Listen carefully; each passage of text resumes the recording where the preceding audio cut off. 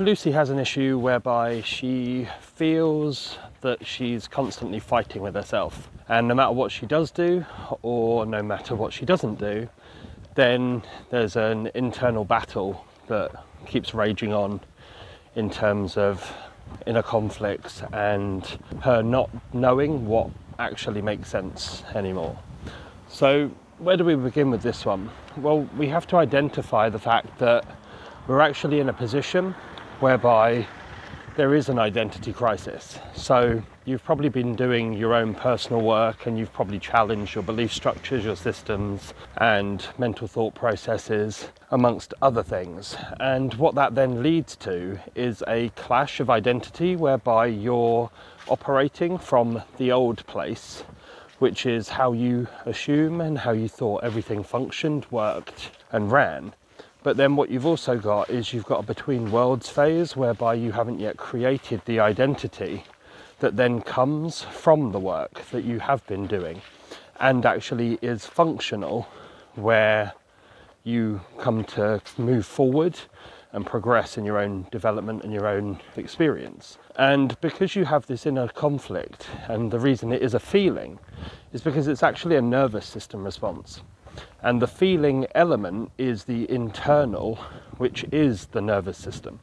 And what this is, is it's a lack of safety and a lack of knowing exactly how things are going to pan out and how things are actually going to move. So, when we have this nervous system response, we're constantly in a position whereby we're in fight or flight, or freeze, or fawn mode. And because you're flitting between each of these to try and make something functional that doesn't yet function, you then don't know where to begin, and you also feel as though you are constantly fighting with yourself. But you're basically fighting the old identity that is yourself from your understanding of it, but is actually not yourself because ultimately that's the person that you had to be in order to previously function. And that person can no longer come with you anymore. And that person has to actually fade away and be incorporated within the bigger picture self in order to then get to a position whereby you're actually developing and you're actually growing and therefore you're creating new experiences for you to step into and ultimately create further growth and development. So, where do you start with this? You have to have the compassion for yourself to realize that that's exactly what's going on.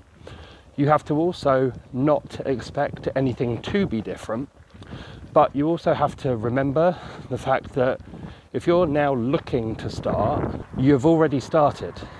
So there is a psychological element and a psychological aspect of it that actually comes into play because if you've already started the process, which is why you're aware of needing to start somewhere, then you've actually already moved from the psychological aspect and the place where you believe you are. And as with everything, you either know where you are and therefore you don't know where you're going, or you're moving and therefore you're never stationary, so you can't know where you are. And then this concept then plays around with the psychological element because of the fact that you either need to know one of them or you need to be in a position to be able to work out one of them. And then from that place, you can start creating and you can start putting things into place and into motion to then move you forward and therefore correct the underlying issue in the first place. But when we don't know either of these because we have this psychological block, then the question becomes how do we remove the psychological block? Because we have to then go, well, actually, I now need to choose where I am. And in choosing where I am, then I need to work out what I'm then going to do in terms of next steps moving forward. And in terms of next steps moving forward, I then have to work towards the bigger picture element that I may or may not know.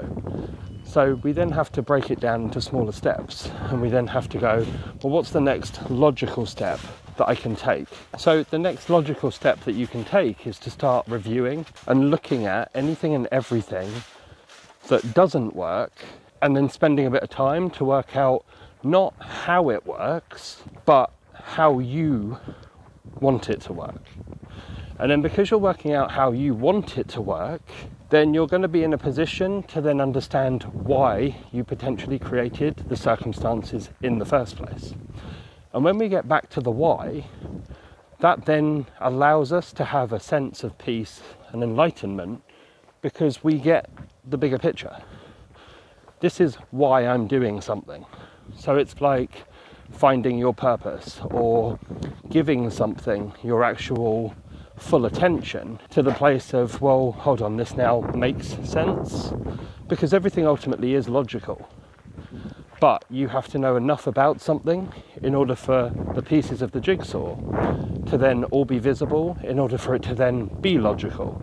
Which is also why they say hindsight is 2020 vision, and why whenever you look back on something, you can always work out exactly what should have happened and whether or not it was ideally placed for it to happen in that manner. So there's something to think about. But as always, until next time, trust the process, and it's bye for now.